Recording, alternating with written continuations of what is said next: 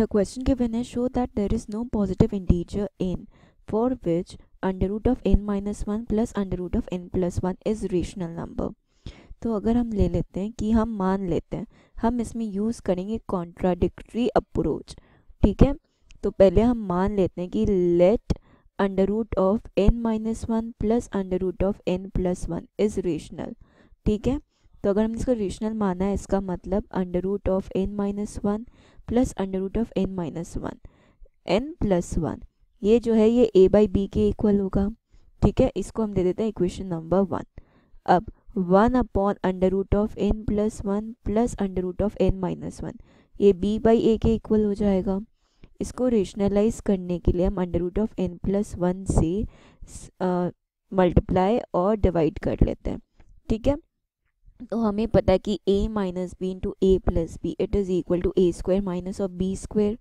तो ये आ जाएगा under root of N plus one minus under root of N minus one upon N plus one minus of N minus one is equal to B by A that is under root of N plus one minus under root of N minus one is equal to two B by A क्योंकि one minus of minus one plus one ये two के equal होता है तो हमने to को cross multiply कर दिया। तो ये आ गया हमारा इक्वेशन नंबर टू अब अगर हम वन प्लस टू करते हैं, ठीक है तो ये under root of N minus one वाली टर्म तो कैंसिल आउट हो जाएगा, ठीक है, और हमें मिलेगा twice of under root of N plus one that is equal to two B by A plus A by B that is under root of N plus one ये आ जाएगा two B square plus A square upon two A B के equal LCM लेने पे. That is N plus one is equal to two B square plus A square upon two A B का whole square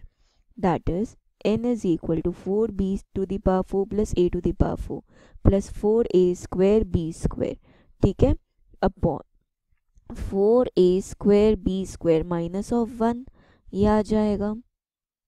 that is n की value यहाँ से आ जाएगी 4b to the power 4 plus a to the power 4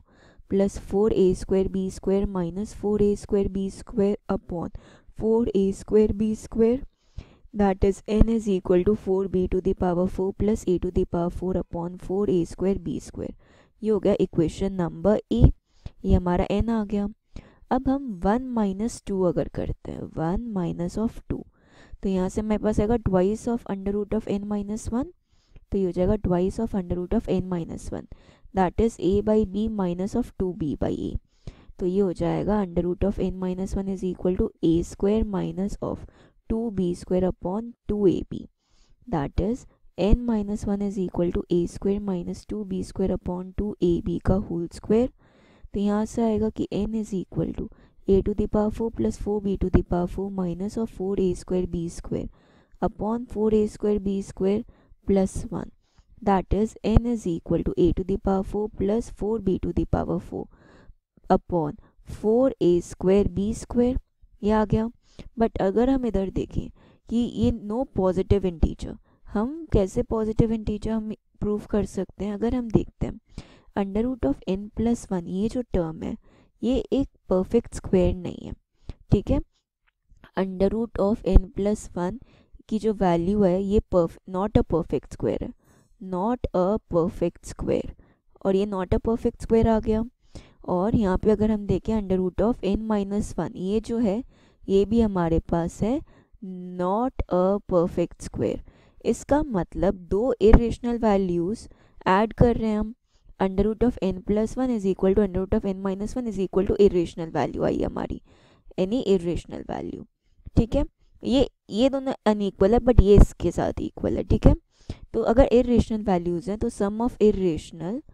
sum of irrational terms they can't be equal to rational जो हमें proof करना था, इसका मतलब हमें हमें जो प्रूफ करना था कि कोई पॉजिटिव एन हो ही नहीं सकता, वो करेक्ट है। So this is our answer